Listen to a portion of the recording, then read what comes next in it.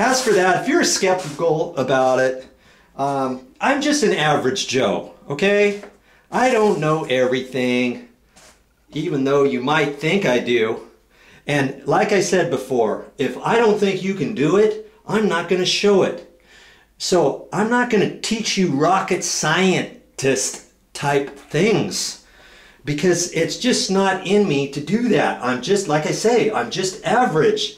And you watch these different videos, and you check out my channel, when you see me doing things, I, I try to explain things as I go. And if you think, hey, if Joe can do it, I should be able to do it, then you're golden. And you know, you got any questions along the way, you can always send me a line, I'll get back to you. I'm not going to tell you that you can do something and then leave you to the elements and not get back to you if you got any questions. You know what I mean? And and make it look so easy that uh, you know half the time when you see something like that, you don't see explanations. You know there's something going on. I show you the meat and potatoes of everything that's going on. If I can't fix it, I'm going to tell you I can't fix it. Or if it's leaking, I'm going to tell you that I couldn't fix it on the first time, and, I, and I'll figure out how I'm going to do it so I can give it and show it to you. Because I don't want you having to go through the same things as me. I want you to be a little smarter than Joe when it comes to fixing a toilet, when it goes to um, installing a light fixture, when it goes to whatever it is I'm showing on my channel or my site, you know? So you are not alone and you can do it. I got faith in you. Okay, I got that all disconnected. Now I'm just going to kind of move it around. Lift with your back, or actually bend your legs. Flex your legs and pick it up with your legs. Don't just reach over with your back, okay? Work smart now.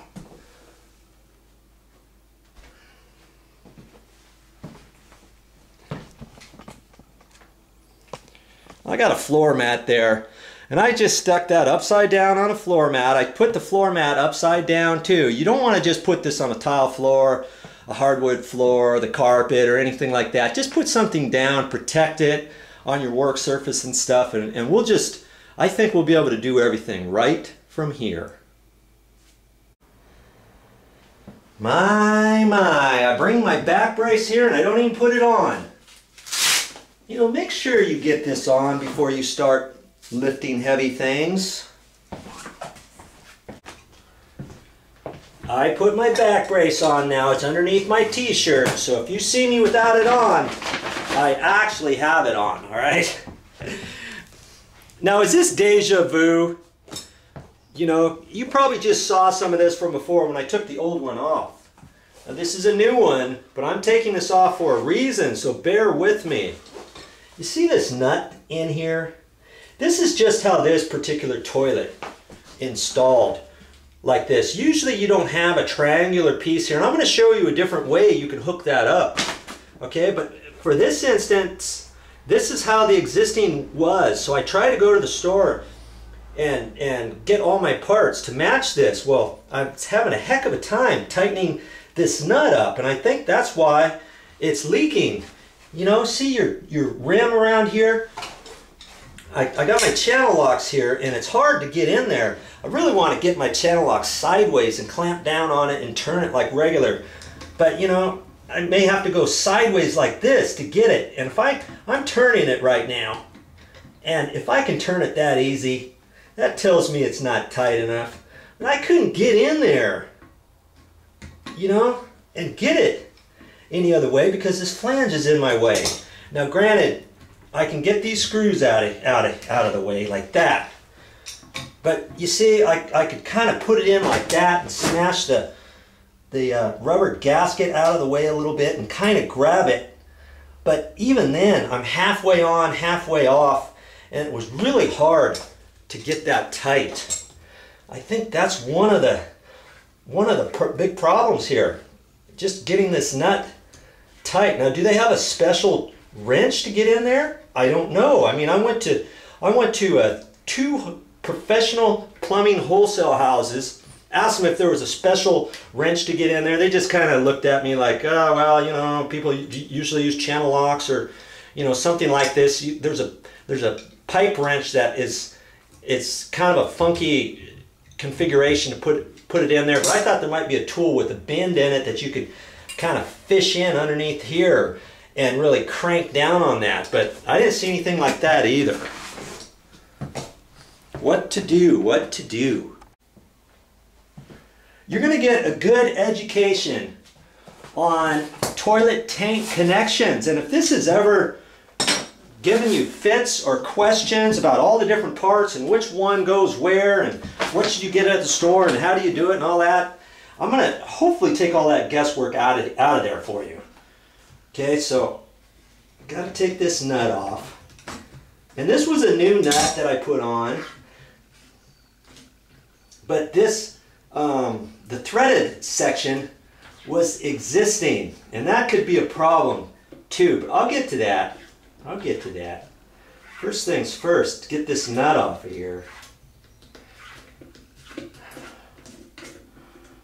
Okay, it's just a little nylon or heavy duty plastic nut and that should be plenty to tighten on. But see how small this ridge is to where you see if I'm putting it sideways and trying to tighten it, I'm actually smashing it in a little bit and it could jump the threads.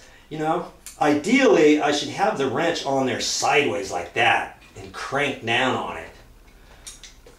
But you see how it's just difficult to do that with this type. All right. Rest assured, I'm going to show you a different type that you can new, do, use. Newsflash, if your toilet tank has one, uh, rubber gasket on there with the assembly just like this, you don't have to use one exactly like that. Did you know that? I mean, you run around the store to all kinds of stores and you find out nobody's got it, you got a special order and all this, and your and your toilet, you can't use your toilet for a week because you can't find the parts. And then once you find the parts, you can't get this thing tight for it not to leak. It's like, what's the deal? I want to help you with that. You know, this part here, I'm just going to push in there. I'll talk about that in a minute. Okay, but around this gasket area here, you see this? Look at that. This is a little gasket. It's kind of like heavy cardboard. And this was in the old one. And I couldn't for the life of me figure that out. When I bought this new setup, it didn't come with this. It came with, with this new setup and, and the screws and the washers and stuff. And it even came with this nut, but it didn't come with one of these. What do you suppose this is for anyways? It's not a rubber gasket. It's kind of like heavy duty cardboard, not really cardboard, but you know what I mean. That washer material, real stiff. But look at, look at it. I'm just pulling it apart because it's so wet and waterlogged.